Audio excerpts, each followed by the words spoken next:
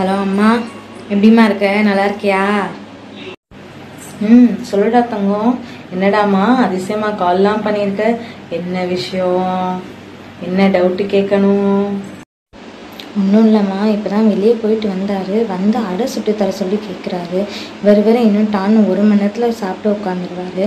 அதுக்குள்ளே இப்படிமா அரைக்கிறது? ஏதாவது ஐடியா சொல்லுமா ப்ளீஸ்மா அம்மா போன வாரம் ஒரு பை கொடுத்து விட்டேனே. அது பார்த்தியா அதுக்குள்ள அமுதுனவ அடைமாவு மிக்ஸ் இருக்கும். அதை எடுத்துக்கோ. சொல்கிறேன் நம்ம அமுதுனவ அடைமாவு மிக்ஸு ஒரு டம்ளர் எடுத்துக்கோ.